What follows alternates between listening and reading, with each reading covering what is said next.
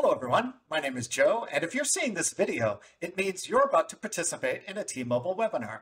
So for the next few minutes, I'll be walking you through the many ways the ON24 platform enables you to interact with the webinar, including my favorite way. Now remember, all the functions that I'll be demonstrating, including the interactive polls, will be active no matter when you're watching. It's all pretty intuitive actually. Here's the webinar screen. Yep, that's me in the window. This is where our speakers appear. Visual support appears next door in the middle, and speaker bios appear on your right.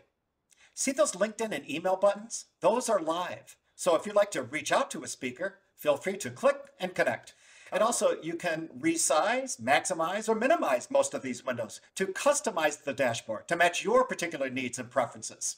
I wish I could do that with the floor plan of my house. Below me here is the question window. During the webinar, you may want to ask a question. We encourage that. So at any time, just type in your question and hit submit. Oh, thanks. It is new. It was a birthday present. By the way, your questions will not be displayed publicly like that. They're private, just having a little fun there.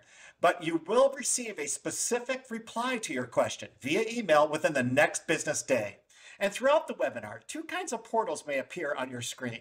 The first is a poll survey portal that contains multiple choice questions.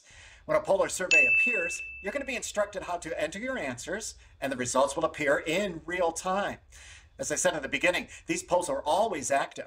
And then, of course, there's a Contact Us button to arrange a consultation, ask questions, things like that. Off. Here's my favorite part, the reaction icon.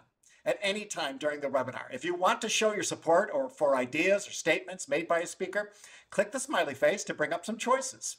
Throw a thumbs up, give some applause, or just celebrate. Well, that's about it. As I said, it's all pretty simple, but we wanted to make sure you get the most out of your T-Mobile webinar experience. Thanks again, everyone, for joining us, and we look forward to interacting with you today. See you inside.